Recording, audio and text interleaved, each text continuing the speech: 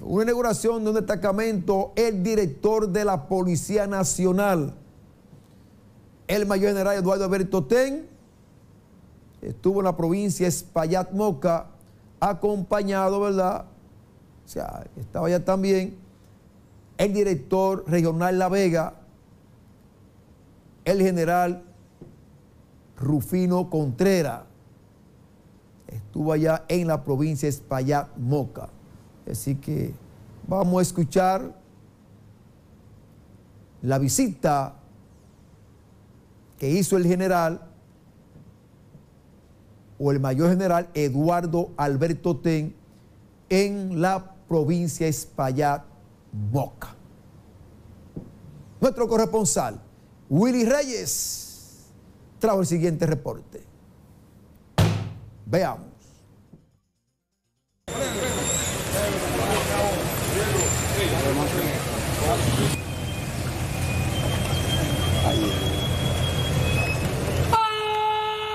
¡Acción! No, mi señora gobernadora. Con nosotros el mayor general Eduardo Alberto Ortega. ¿Cómo están? General, su visita aquí al Librito en este momento. ¿Qué pide decir del destacamento? Vamos a inaugurar el Vamos a destacamento recibir al mayor general y a toda su comitiva con un fuerte aplauso. Bienvenido a esta comunidad de Iguerito, destacamento policial de Iguerito y la entrega significativa de esta unidad vehicular y dos motores para el servicio del patrullaje de la Policía Nacional aquí en el Distrito Municipal del Iguerito, el Distrito Municipal de La Ortega. Me honra la presencia aquí del señor director de la Policía Nacional, la presencia de la señora gobernadora de la provincia de Espaillá, la presencia de la prensa. En una visita que yo le hice al mayor general Eduardo Alberto Ten a su despacho, él me dijo, lo que usted necesite, pídamelo a mí.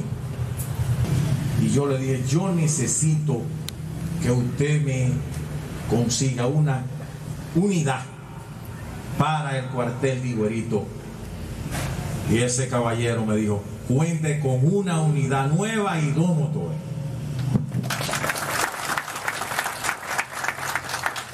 Y me dijo, pero le voy a llegar más lejos. Yo voy a ir a entregarse. Muy bien, gracias.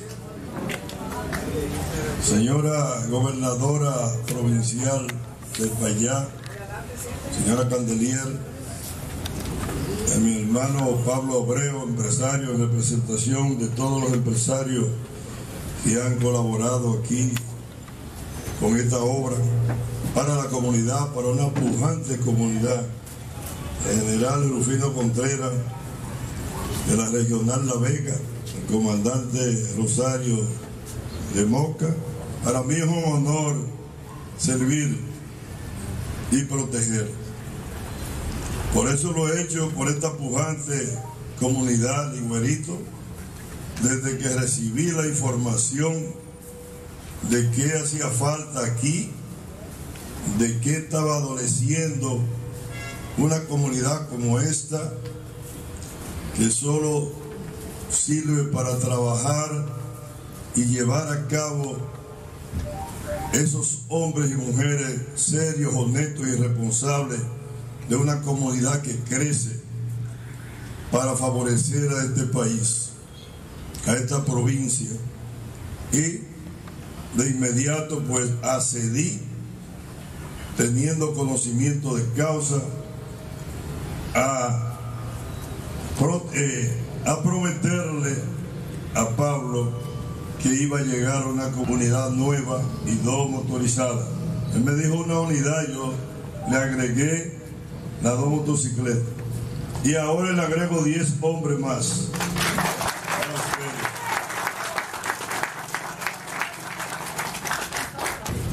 Las comunidades progresan, pero es uniéndose, es haciendo el esfuerzo todo. En la unión está la fuerza. pero en la fuerza está la victoria. Yo le prometo a ustedes que estaré pendiente de que aquí se haga el trabajo que se necesita hacer. El trabajo que tanto ustedes estaban esperando, pero van a tener, porque ya van a tener todos los requisitos exigidos que este cuartel, que este destacamento necesitaba tener, con la dignificación de sus hombres, que fue lo que le dije a Pablo. Hay que dignificar los hombres para que se pueda hacer buen trabajo. Lo estamos dignificando, pero no lo estoy dignificando yo, lo está dignificando el excelentísimo señor presidente constitucional de la República Dominicana, Luis Abinader, autoridad suprema de las Fuerzas Armadas y la Policía Nacional, quien se empeña, quien siente orgullo y quien se preocupa por una institución desamparada, una institución abandonada por décadas y viene a rescatarla y por eso hoy nosotros también sentimos orgullo de tener un comandante en jefe como él. Muchísimas gracias, señora gobernadora. Bueno, ahí están las palabras del director de la Policía Nacional, Mayor General Eduardo Alberto Ten, donde estuvo ahí en la provincia Espaillat Moca, ¿verdad?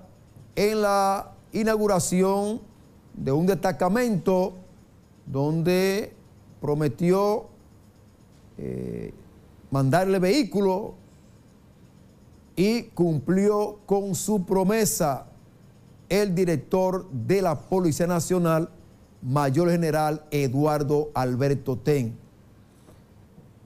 Un jefe de la policía que escucha todo aquel que antes no lo escuchaba. Y ahora el director de la policía escucha al pueblo, porque es un hombre del pueblo y es un hombre que está comprometido con este pueblo, el director de la Policía Nacional.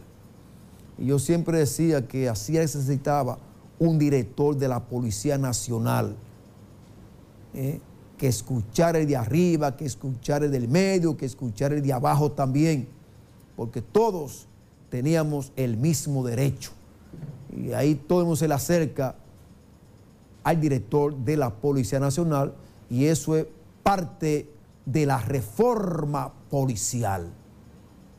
Es así, eso es parte de la reforma policial porque ahí que comienza la reforma policial con el mayor general Eduardo Alberto Ten y un asesor que sabe de reforma policial, que ha sido exitoso en toda la reforma eh, policial donde él la ha implementado, donde ha ido, ¿verdad? Reforma policial que Vila, un hombre que ya ustedes saben, que sabe de reforma policial. Pepe Vila, ese sí sabe de reforma policial. Don Pepe Vila. Terminamos.